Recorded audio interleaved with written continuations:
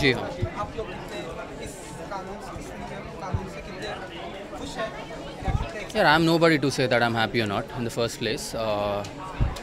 you know, it's a it's, it's, it's a thing that the government is doing, and it's their duty. They know what is right and wrong. The you know elected representatives are doing it. So, but I personally, if you ask my personal opinion, something that's good. Yeah, anything that keep makes someone happy is good, and it's I support it I would say I would just support. Actually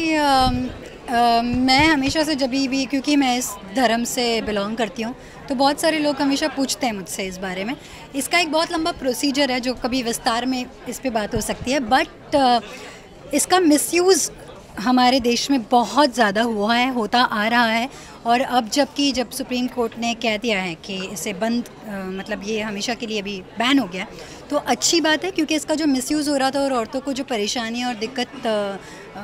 महसूस हो रही थी इसके चलते उसके लिए बहुत अच्छी बात है। लेकिन मेरा हमेशा से मानना है मैं हमेशा से एक आवाज़ उठाती हूँ अपने सोशल मीडिया पे भी कि जो लड़की को विदा करने का जो रूल है हमारे देश में हमारी प्रथा में मैं पता नहीं किसी दिन कभी शायद कभी सोशल वर्कर बनी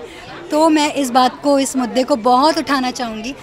लड़की की विदाई को लेकर के जो माँ बाप हमें बहुत मुश्किलों से पालते हैं, हम बड़े होते हैं और जब उसे विदा कर दिया जाता है और वो किसी और की घर की एक अमानत हो जाती है और उसकी, उनकी खिदमत करने लगती है अपने माँ बाप को छोड़कर और जब वो बीमार होते हैं, उनके पास नहीं जा पाती है तो ये मेरे लिए सॉरी ये बहुत एलेबरेटली मैं कभी शायद इस बारे में बात करूँगी कोई ऐसा मैसेज दे सकती हैं हाँ तो मेरा यही मैसेज है कि ये शायद हमारे हिंदुस्तान में अगर जिस दिन बंद होगा ना, उस दिन मुझे बेहद खुशी होगी और हमारी सारी लड़कियों को बहुत बहुत बहुत राहत होगी।